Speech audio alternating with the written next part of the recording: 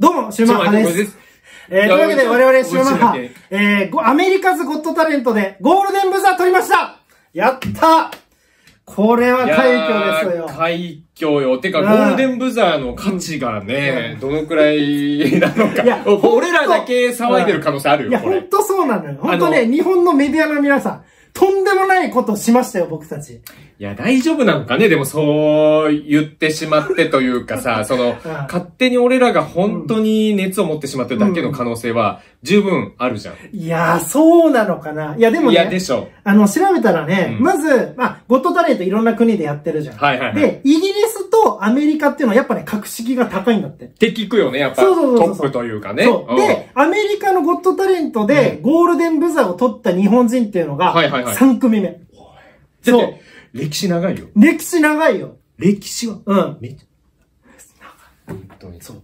19年やってる。19年中日本人の方が3名。そうそうそうすごいいやでもね、今回このね、あのゴールデンブザーを、うんあのー撮ったっていう報告動画をうん撮らせてくれって聞いたときうんに、いや、まだ言 う。まだ言うってごめんまだ言うってまだ言うってごめんその初めて言ったゴールルデンブザーを言い過ぎじゃねって思って。あ、あの、あの、プライベートでね。そう、プライベート、なんかこういう。いやいやいや、すね、ごいことじゃん。すごいことなんだけど、うんあんまりなんかさ、自分らですげえすげえって言うとちょっと冷めるじゃん。うん。冷めるし、うんそうだね。あれ、撮ってからまださ、事務所行ってないでしょ。あ、まだ言ってない。サミュージック事務所行ってない。言ってない。一応あの、この前行く機会あったから、ああ、はいはいはい。あの、言ったら、うん。結構、あの、社員さんみんなポカンとしてた。うん。そうなんだから。そうそうそ。いうやもう社員ですら価値分かってないから。もうそうなのよ。だから、俺は、俺はね、うんこれは中村くんのチャンネルだし、これは俺は別にあれだけど、うん俺はそんなにてもいいんじゃねって思ってる。あの、いや、いや、でも、すごいことなんだよ。だから、そう、すごいことよ。めちゃめちゃすごいことだし、うん。もうめちゃくちゃ俺らも盛り上がったし、やっぱりその、向こうのね、方々からも、うん。すごいおめでとう。いやおめでとう。特にスタッフさんとかから言われるじゃん。そのぐらいの価値はあるもんだし、思ってるんだけど、うん。自らが、うん。どう？すごいでしょって、行くと、あいや、まあ、確かに、すごいんだけど、んうん、みたいになるじゃん。いやもうそれをね、中村くんはね、もう前面に出しすぎてる感があるかなるら、ほどね。こ、こ動画まで撮いって、や、いやだから、これ凄さを伝えていかないとダメなんだよ、これは絶対に。いや、だからそれはだから、まずさ、じゃあうん感覚的に、じゃあ M1 で言うとどんなもんよ？で、えっとあ、準決勝余裕で超えてるぐらいの価値はあるでしょ？決勝に行ってるぐらいの価値あるでしょ？もちろん ?M1 もちろん決勝進出。もちろんもちろんもちそろん。の先ぐらいはあると思ってるよ。で、た、その、なんだ、例えば、うんあーあー、そうか、M1 決勝行きました。うん。M1 の決勝でとんでもないインパクトを残したぐらいの価値はあると、マジで思ってる。あまあ、まあね、うーん、んだその共感者が少ないっていう、この難しさね。そうそうそうそう。共感者少共ない。の。感者が少ない。そう。そうそうそう。ゴッドタレントに挑戦した皆さん、その、例えば日本人の方々とかは、すごくこう、盛り上がって、うん。すごいねっていうふうに喜んで。いや言ってくれるで、俺らもその価値を分かってるし、うん。ゴールデンブザーの。で、向こうの、も向こうのっていうか、日本人の方も、価値を分かってるから、うん。ゴッドタレントに挑戦した皆さんとかを価値があって、わーってみんなで盛り上がってるけどうん、じゃあね ジャパンがね、そうそうなんだよね。このゴッドタレントの、うん。あのーあ、ゴッドタレントっていうか、そのゴールデンブザーの、この凄さを、うん。だねどのくらいこうね、分かってくださってだか、るのからっていう。俺らがまずね、問題なのが、うん。ゴールデンブザーって当たり前に言ってるから、ん。まず説明もしないと分かんない人絶対多いよね。てかそうなのよ。そうそうそう。そう、確俺らのかに。中の共通言語になっちゃってたから。確かに確かに。まずそこだよね。そう、そこなの。えっと、えー審査員が4人いるんですよ。まあ、まずアメリカズゴッドタレントの説明を。あそっか。てか、ゴッドタレント。ゴッドタレントそうだ。だから俺らの中の当たり前になってるから、俺らの中のいいともになっちゃってんのよ。当たり前にあるもの。あるものになっちゃって代るから。表がいいともだったんだ。そう、だから、ちょっとそうかそうか、まずは、そうだ。えっ、と、えっ、と、去年、とにかく明るい安村さんが、うんイギリス版のブリテンズ・ゴット・タレントに出て話題になりましたよね。そう、まあ、だから、あの皆さん知ってるでしょご存知の方いらっしゃるかわかんないけど、うんスーザン・ボイルさん。そう、スーザン・ボイルさん。歌手のね、うんあのーでまあ、だからもともと普通のおばちゃんだったのに、そうそうそうそうそう、実はもう美声を秘めてて。秘めてで、て、一躍世界的スターになった。なったっていう。まあ、オーディション番組がね、うんあって。そうそうそうで、その中で、うんえー、審査員が4名いて、そうそう。で、いろんな国でやってて、うんえー、格式の高いアメリカ版に出たってことなんです。そうなんです。だから、その4名の方が、うんえっ、と、審査をすると。うんうんまあ、俺ら言ったら、だから1回戦みたいな感じかなそうそうそう。今回出たの。うん。で、その4名の中で、えっ、と、全員がイエスが出れば、うん次のステージに行ける。うんうん。まあ、あの、毎年なんかあの、方式は変わるそうなので、うんちょっとこれはスーザン・ボイルさんの時の時代とはちょっと違うかもしれないですけど、うんまあ、スーザン・ボイルさんも勝ち上がっていって、うん。優勝したのかな？それとも、うん。バズって、うんあえて話題になったのか。なかもしれない。まあ、どっちかわかんないけど、だから正直ここはね、あの、優勝するのがっていうことではなくて、うんなんかね、盛り上がるかどうかみたいなところそうそうそうそうが結構あって、うん。で、それで、今回その僕らもまず、まあ、1回戦みたいなところに出させていただいてうんっていうところで。そうそうそう。で、その中であるのが、あの、皆さんがイエスっていうふうに、うん4人イエスもらえれば次に行けるうんって先ほどうん言ったと思うんですけど、うんその中で飛び級というか、うん。あの、一発で、うん。あの、ボンって次のステージにそう。行ける。準決、勝とかね。そう。に行ける。うん。に行けるためのゴールデンブザーっていうこのそう。スイッチがあうんって、うんこれはワンシーズン、だからあの、ドラマと一緒ですね、シーズン1、2、3、うんで、今年がシーズン19、19 19、うん。19の中で、審査員1人が1回しか押せないっていうボタン。そうそうそうそう。あって、うん。で、1回戦に関しては多分何百組出るのかな、そうそうそうあれ多分300はいかないか、わかんないもう何百組。100以上は出る。うん、出る出る出る。の中で、審査員がそれぞれ1回しか押せない。あとプラス俺が喋っちゃった。いや、ごめんいいよ、別にいいよ。まあ、司会のね、方そうも押せる。だから5回しかワンシーズンで押せないというボタン。テリーね。そうそう司会のテリー。うんそうそうそうお、今、あったねうん。あったあった。で、僕らはソフィアが押してくれた。うんちょま、もうちょっとさ、で引っ張ろうよ、今んとこ。急にソフィアが押してくれたじゃん。もうちょっと引っあ、張りやがごめんゴミくんなりのね、もう遅いよ。いやいや、もう間に。いや、まあ、だから、その、その中で、まあ、聞いてたのは、うん。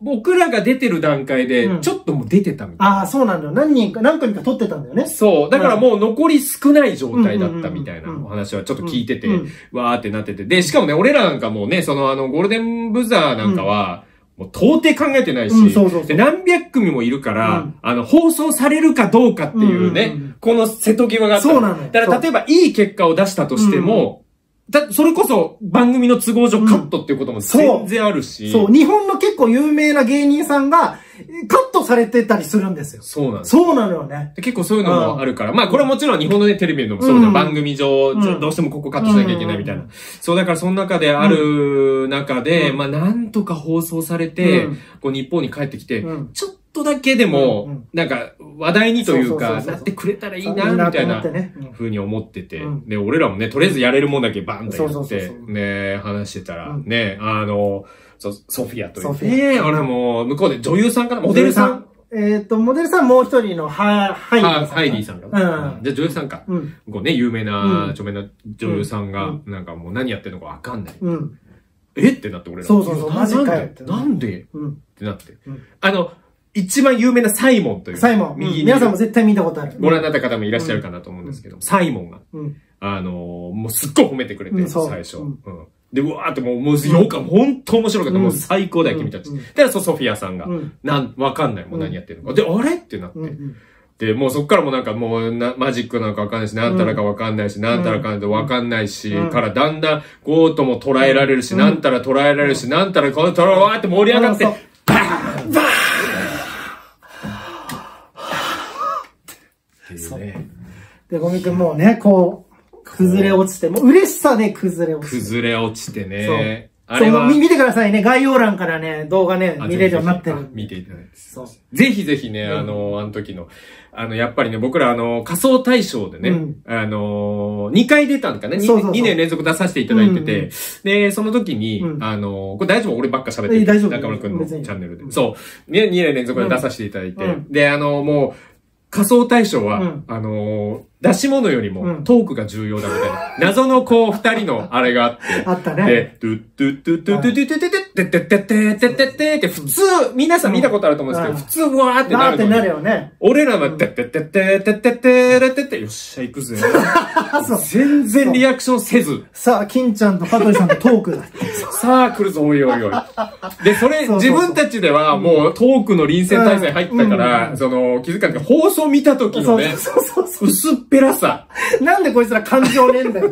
なんで喜ばねえんだ、こいつらって。こいつはなんでなんみたいな状態だったじゃん。そうそうそうそうそう。で、2年目はそれを学んでちゃんと、まあ、これ今だから言いますけどうん、一応喜んで、なんで、ったら嬉しかった。いや、もちろんもちろん、だからね、オーバーにね。オーバーにね、うん。そう。そうそうそう。わわーーってやっててね。わーってなって。うん。っていう学びがあったから、仮想対象で学びをゴッドタレントに持ってきたんだ。ゴッドタレントも、あの、やっぱ最初袖でね、言われてたじゃん、あの、スタッフさん、プロデューサーさんに、うん。あの、もし、もしね、うん。ゴールデンブザ取ったらうん、大きなリアクションしてください。いや、まあ、言われてたまあ、言われてた。言っていいのか分かんないけどね、こんなこと。まあもちろん、そのう、んもう勝手に大きなリアクションになるんだけど、まあまあ、自然となる。もし出ちゃったら、うん。そっちのがあの、まあ、アメリカどっちかっていうと、リアクションしてくださいね、じゃなくて、うん。もう大きくリアクションしてくれ、うん。そうしたらもっと盛り上がるかそうだね。らっていう、んそういう、まあやらせとかじゃなくね。そうそうそう。うん、そうもそうそうそう。存分に楽しんでくれっていう。うんそうそうそうそういうリアクション。うんで、あ、もうまさかで思ってないから、うん俺らも。で、本当に、おーおーってなって、うんでもやっぱよぎるのね、あれね。いや、な何呼びたの？あの、やっぱりこう、これだけね、いろいろずっと経験もいろいろさせていただいて、まあ、あの、ああいう、例えば仮想対象みたいなのとかもあったり。俺らの経験、仮想対象しかねえのかよ。いやいや、やっぱね、テレビとはいろいろ違う。頑張ってきたじゃねなんかこうさう、んテレビとはさう、んちょっと違うえじゃんか。。いや、違う違う違う。あのーもちろんテレビ番組だけど、うん仮想タレントそうだけど、うんお客さんがこうば、だから、うんゴッドタレントは4000人ぐらい。あ、そんないたのかな？まあでも何千人入る会場だよね。そうそうそう、おっしゃってたんで、うん多分そのぐらいいて、うんまあ、仮想大賞もあれ多分1000とかそのぐらいそうだね多分ね、うな。なんか、なんか一一緒ではないんだけど、なんかこう、そう、あのね、親和性あるのよ。ちょっとねそうゴッドタレントと。ちょっとあんの仮想対象、親和性があるのよそうだからゴールデンブうんバーンと押された時に、うん本当に驚いたんだけど、うんと同時に、んあーでっかいリアクションしよう。いやいやいや、違う言わなくていいよ。それ、いや本当にあの V 見て感動してる人いるんだから。え、じゃあ、じゃあ、えっと、何、何倍ぐらい大げさにやったのね。自分、本当に嬉しかったじゃん。もちろんもちろん、本当に嬉しかった。うんめちゃめちゃ嬉しかった何倍ぐらいさ、あの、大きくしてリアクションしたの？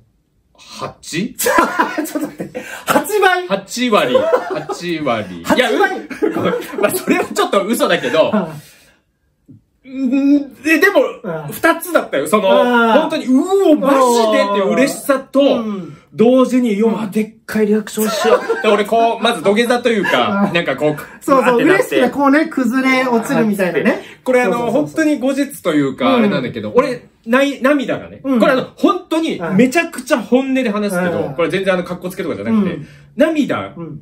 がうん、こう、こうなった時に、うんこう、バーってなるじゃうんん。で、大きいリアクションだったし、ああ、これ、ちょっと、涙出ないかなって。ちょ、ちょっとね。嬉しさ、だから、多分、涙が、うん。出そうと思って出ないじゃん。うん本当に嬉しいから、うわ、この嬉しさの感情高めて涙出ねえかなって言って。おそしたらこう、ーうん。さーっと来て。で、でも実際本当嬉しいから、うん。もう本当に涙出るぐらい嬉しいから、うわーってなって、うん。あーよし、来た来た、うわうん。で、マジで嬉しい。もう本当同時よ。うん。リアクションしなきゃうん。と、うん。リアクション、あの、こう、嬉しいって、もう同時進行で、うわーってなりながら、ううんわーってなって、で、中間くんがね、ポンポンって起こして、うんそうそうそう。見ない見ない、うん。わーってなって、うん。あーでもここの風景というかさ、うん。このなんか、バーってこれを見てほしかったよ。このねとんでもない景色だった。すごい景色だって、うわーそうそう。うん。で、抱き合って。そう、あの抱き合ったのは俺も演出。なんかね、やっぱね、ずっと組んでるかわかるけど、だなって思った。じゃ、これ、なんかあるのよ。わかるよ。そうそうそう。えっと、まず、あ、ゴミくんこうやってて泣いてる。で、俺はこうやって嘘だろってなってる。このバランスいで、い。で、この後二人がやっぱ、混じり合うと美しいなと思って。美しいなっていう起きろ起きろ起きろ。よし、よし、撮ってる撮ってる。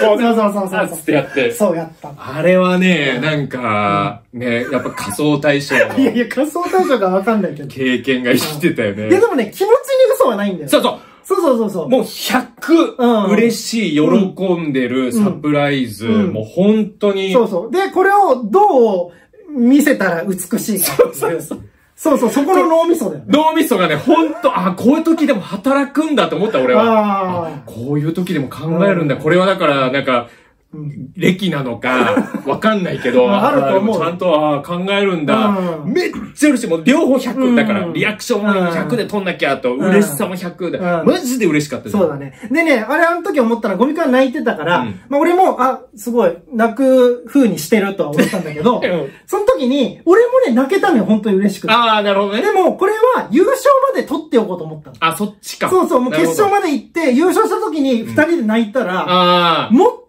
ストーリーとして完結すると思あ、って。確かにね。それで取っといたんだよね。いや、素晴らしい。うん。俺もね、うん。自分で見んの、うん。見、見た後、まあ今ちょっと撮ってんのがもう4月4日なんで。そうそうそう、まだ僕ら見えてないんだけど。見てないんだけど俺ね、こ、うん気づいたかな、うん。うん。泣いてはいたけど、うんそんな出なくて涙。